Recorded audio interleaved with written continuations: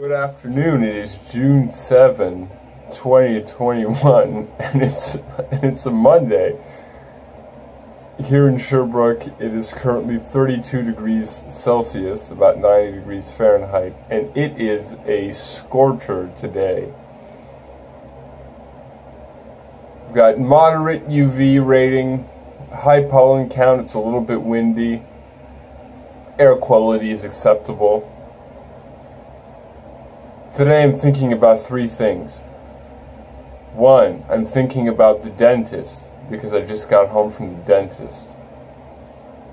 Two, I'm thinking about John Cale's song, Fear is Man's Best Friend. Three, I'm thinking about hot dogs because today is Monday and at Louis Luncheonette, believe it is buy one get one free for the hot dogs.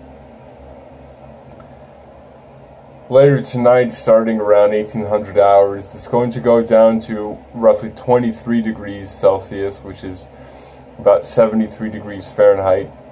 Same uh, with the clouds, there will be a few clouds, but mostly the sky will be clear.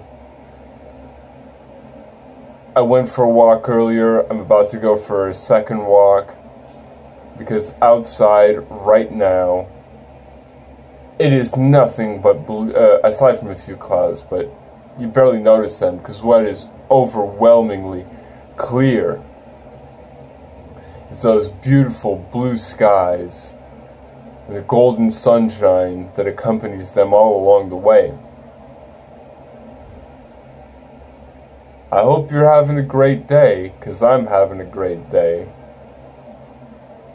Everyone, have a great day.